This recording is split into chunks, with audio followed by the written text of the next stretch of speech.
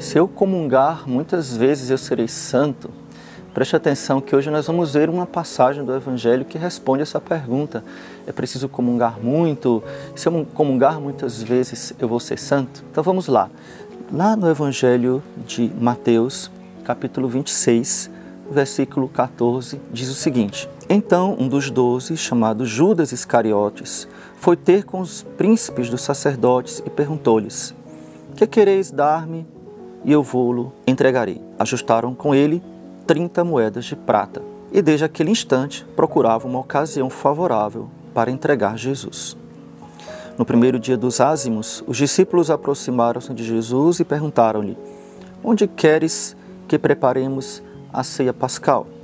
Respondeu-lhes Jesus: Ide à cidade, à casa de um tal, e dizei-lhe: O mestre manda dizer-te: Meu tempo está próximo, é em tua casa que celebrarei a Páscoa com meus discípulos. Os discípulos fizeram o que Jesus tinha ordenado e prepararam a Páscoa. Ao declinar da tarde, pôs-se Jesus à mesa com os doze discípulos. Durante a ceia, disse: Em verdade vos digo, um de vós há de me trair. Com profunda aflição, cada um começou a perguntar: Sou eu, Senhor? Respondeu ele: Aquele que pôs comigo a mão no prato, esse me trairá. O filho do homem vai, como dele está escrito, mas ai daquele homem por quem o filho do homem é traído. Seria melhor para esse homem que jamais tivesse nascido. Judas, o traidor, tomou a palavra e perguntou: Mestre, serei eu? Sim, tu dizes, disse Jesus. O que é que esta passagem tem a ver com a comunhão? Bom, o contexto aqui é da última ceia. Mateus fala de modo bem mais resumido que João, por exemplo.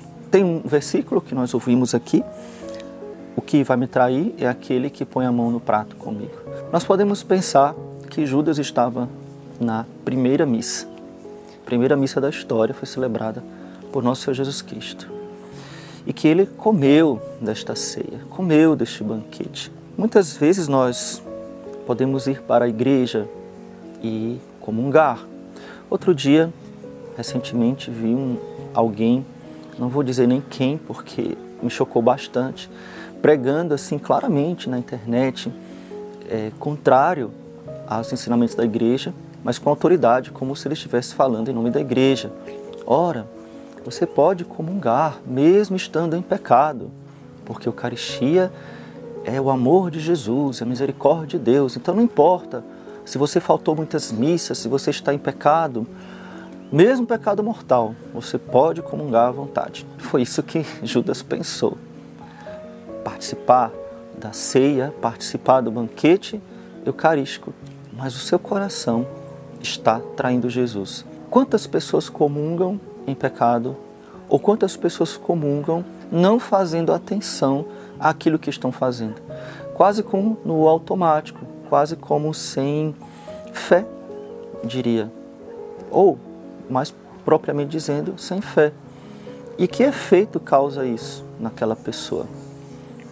No, na palavra de Deus, na carta de São Paulo aos Coríntios, diz que a pessoa que comunga, a pessoa que recebe o corpo e sangue de Cristo, sem dar atenção ao que está fazendo, recebe a própria condenação. Então, aquela Eucaristia, em vez de santificar a pessoa, na verdade está aumentando o seu pecado, porque ela está comungando indignamente, está comungando em pecado grave, está cometendo um sacrilégio. Eu gosto de pensar, eu quero que você reflita hoje. Amanhã, quinta-feira santa, é o dia da instituição da Eucaristia.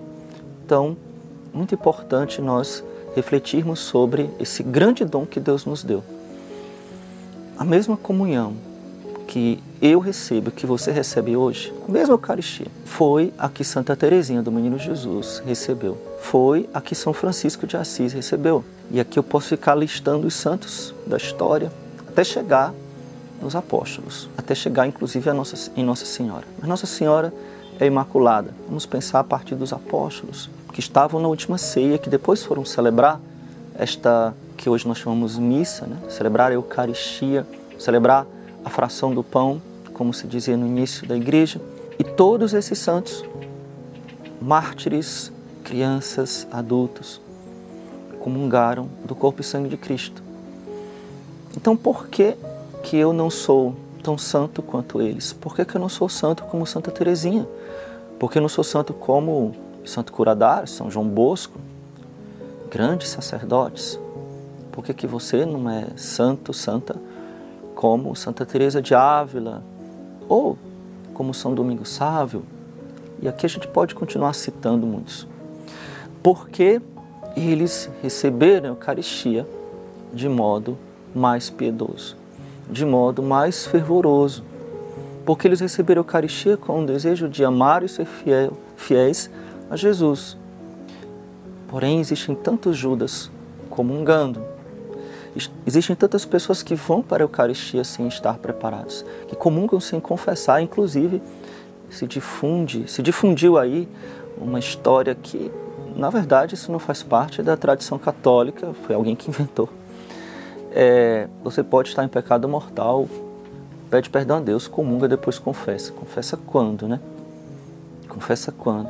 Veja, vou fazer uma, uma comparação muito simples aqui para você. Digamos que é, você almoçou e não lavou os pratos, esqueceu ou não quis lavar os pratos.